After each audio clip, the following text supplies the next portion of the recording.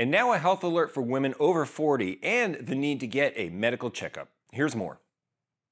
January is Cervical Health Awareness Month, a good reminder for women to visit their OBGYN for a routine screening. Recent studies show that cervical cancer has been increasing in women under 50. More than 4,000 women will die from it this year alone, even though it's preventable and highly treatable if discovered early through co testing with PAP plus HPV together. Too many women are not up to date on their screenings. It's up to us to change this. Learn more at hologic.com slash wellwoman.